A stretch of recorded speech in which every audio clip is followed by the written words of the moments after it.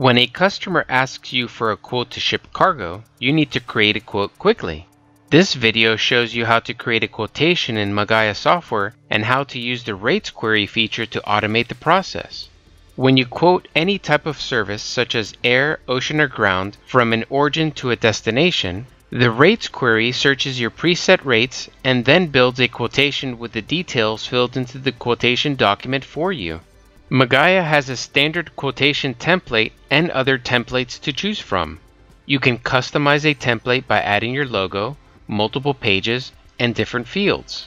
Let's start by looking at the rates you can save and use in the query. Standard client rates, also known as selling rates, are base rates for all your customers. Client rates apply only to certain customers. Add this type of rate in the list or in the customer's profile. Carrier rates, also known as buying rates, are your purchasing rates for freight services. You can create each rate per container and is saved in this list and the carrier's profile. To query your selling rates, Open the query screen from any one of these three places. From the Client Rates folder, the Standard Client Rates folder, or open it from the Actions button in the quotation document screen. We have some rates set up already. Let's say my customer wants a quote to send cargo by ocean from Miami, Florida to Barranquilla, Colombia. From the Standard Client Rates list, click Actions, Query Rates. This opens the Query Selling Rate screen. The customer field is optional, but selecting it here will transfer their information to the quotation for you. The following fields are required to run a query. The freight service class, the origin and destination fields, and the method of transport.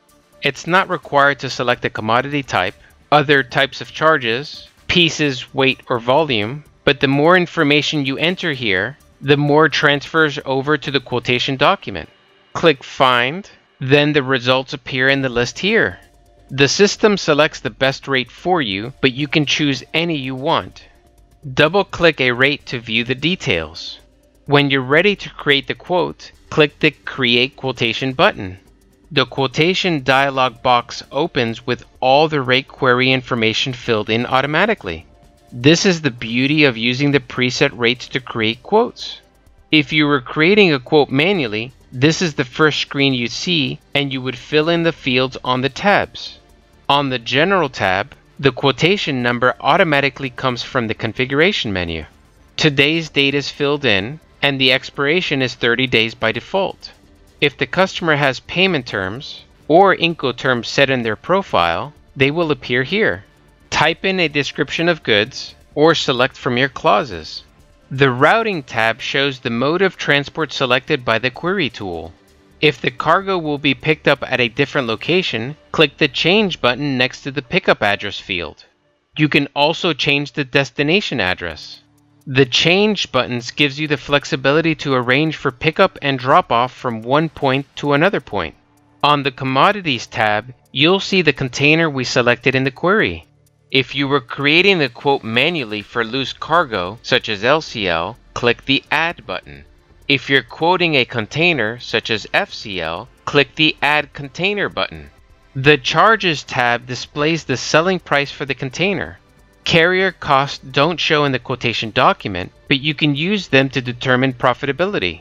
The ocean freight service charge calculated from the query is applied by container. To see the details, double click it. Change any field based on your needs. If you have automated other charges in your Magaya system, they'll also appear here. You can always add charges manually, such as income and expense charges for local transportation. Freight charges are calculated based on the origin and destination and commodity details, such as type, weight, volume, and measurements. Non-freight charges do not depend on origin and destination, but could factor by the commodity details. For example, a crating fee may be based on the size and weight of the commodity. If you need to change the measurement units for this quotation, click here. Next, if you want to add an event, you can. You have the option to attach a document, or add internal notes for your company to see, or other notes for the customer to see. The notes can include terms and conditions or add those to the document by customizing the template. Click OK to save it and create the document.